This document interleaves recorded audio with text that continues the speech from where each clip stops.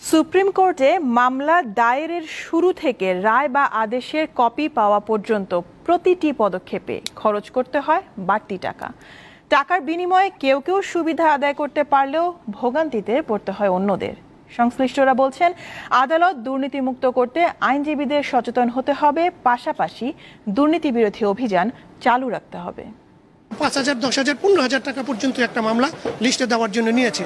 Section থেকে ফাইলটা আনার ক্ষেত্রে আবার ওখানে স্পিড মানি দিতে হয়। প্রতিনিয়ত এমন ঘটনার সম্মুখীন হতে হচ্ছে সুপ্রিম কোর্টের আইনজীবীদের। টাকা ছাড়া কাজ করতে গেলে বিড়ম্বনায় পড়তে হয় তাদের। উচ্চ আদালতে দুর্নীতির অভিযোগ পুরনো। বহুবার বিষয়টি আলোচনায় এসেছে। অনেক সময় দুর্নীতির বিরুদ্ধে পদক্ষেপও নেওয়া হয়েছে। কিন্তু ধারাবাহিকতা না থাকায় দুর্নীতি বন্ধ হয়নি। আমি একটা মামলা এভিডেভিট করতে দিছি বারো তারিখে। সেটা পাইতে পাইতে আমার সতেরো তারিখ হয়ে গেছে। ইন দ্য মিন টাইম আমার ক্লায়েন্ট আমার প্রতি বিরক্ত হয়ে আমার ফাইলটা ফেরত নিয়ে গেছে। প্রত্যেক টেবিলে টেবিলে এদের নিজস্ব একটা একটা অঘোষিত একটা স্পিড মানির একটা ব্যবস্থা এরা নিজেরাই করে রাখে। যত টাকাই হোক না কেন সেটা কম থেকে পাঁচশো থেকে আরম্ভ করে দুইশো একশো এরকম করে অনেক বড় অ্যামাউন্টের একটা বিষয়। এটা কিন্তু অঘোষিতভাবে চলে আসছে। কিছু লয়ারও হয়তো আছে আনডিউ অ্যাডভান্টেজ নেওয়ার জন্য। তারা দ্রুত মামলাটার ফাইলটা নামাবার জন্য বা ফাইলটা আনার জন্য তারাও অবৈধ পথের প্রশ্রয়টা নিয়ে থাকে। আদালতের বিভিন্ন শাখা ও গুরুত্বপূর্ণ স্থানে সিসিটিভি স্থাপন করেও সুফল পাওয়া যাচ্ছে না। ধরন বদলে সরাসরি টাকা না নিয়ে বিকাশে লেনদেন হচ্ছে ঘুষ।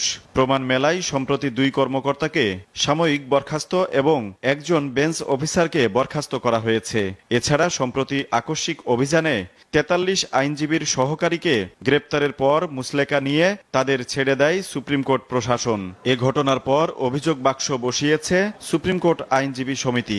এফিডেভিট সেকশনে সরাসরি হাতে নাতে দুইজন কর্মকর্তা তাদের বিরুদ্ধে ইতিমধ্যে সুপ্রিম কোর্ট প্রশাসন ব্যবস্থা গ্রহণ করেছেন। আমরা এটাকে সাধুবাদ জানাই এবং চলমান ঘুষ দুর্নীতি অনিয়মের বিরুদ্ধে যে আমাদের যে জিরো টলারেন্সের অবস্থান আমরা সেটা আবারও ঘোষণা করতে চাই।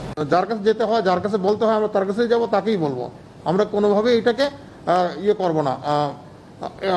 এড়িয়ে যাওয়ার চেষ্টা করব না। আমরা এটার বিরুদ্ধে ব্যবস্থা নিবই যদি সুনির্দিষ্ট হয়। দুর্নীতিমুক্ত আদালত গড়তে আইনজীবীদের সচেতন হওয়ার আহ্বান জানিয়েছেন অ্যাটর্নি জেনারেল।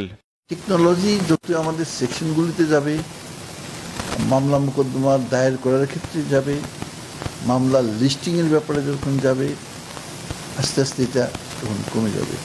আদালতের কার্যক্রমে পদ্ধতিগত পরিবর্তন এনে দুর্নীতি দূর করা সম্ভব বলে মত আইনজীবীদের।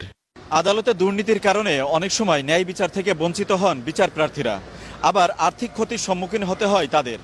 এ অবস্থা থেকে উত্তরণের জন্য সম্প্রতি প্রধান বিচারপতির নেওয়া পদক্ষেপকে স্বাগত জানিয়েছেন বিচার সংশ্লিষ্টরা। তারা বলছেন, আদালত থেকে সম্পূর্ণরূপে দুর্নীতি মুক্ত করতে হলে অভিযান অব্যাহত রাখতে হবে সারা বছরই। আজিজুল ইসলাম, দীপ্ত সংবাদ, সুপ্রিম কোর্ট, ঢাকা।